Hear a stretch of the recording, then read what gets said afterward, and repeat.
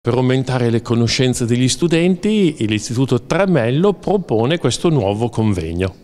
Sì, oggi abbiamo la fortuna di avere il dottor Sacchelli, un esperto in neurochirurgia, perché l'Istituto Tramello quest'anno ha organizzato una serie di incontri di formazione per i ragazzi per la promozione della salute, che è uno degli obiettivi fondamentali del nostro piano dell'offerta formativa. Abbiamo già avuto un incontro sui tumori con il dottor Cavan, un ricercatore dell'IFOM, e presto avremo anche un nuovo incontro con uno psicologo per parlare delle dipendenze legate al digitale. Oggi invece il dottor Sacchelli ci parlerà dei danni del, dell'utilizzo delle sostanze stupefacenti e degli alcolici. Volevo ringraziare in particolare la professoressa Amoroso che è la nostra insegnante di scienze che ha coordinato questo ciclo di incontri per aiutare i ragazzi. I numerosi incidenti stradali ripropongono eh, per i giovani i danni che vengono causati appunto da alcol e droghe. Ecco, lei questa mattina terrà questo convegno qui per questi studenti, cosa dirà?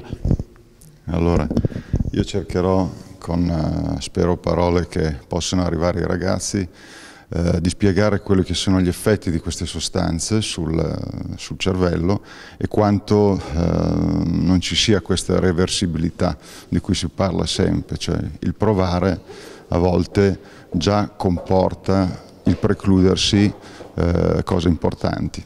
Quindi voglio che arrivi questo messaggio e cercherò di affrontarlo con i ragazzi. Ecco, ma dicono droghe leggere, droghe pesanti, cioè, ma tutte sono dannose? In diversa misura sono tutte dannose, ma soprattutto eh, sono dannose in questa fase della crescita, dove il, cervello si sta sviluppando, matura e esprime tutte le sue potenzialità. Quindi anche se ehm, può essere non un danno diretto immediato, sicuramente ne pagano le conseguenze sullo sviluppo della loro personalità. Quindi leggeri o pesanti, al di là del fatto che possono portare anche a morte a volte, eh, possono dare danni equivamente importanti.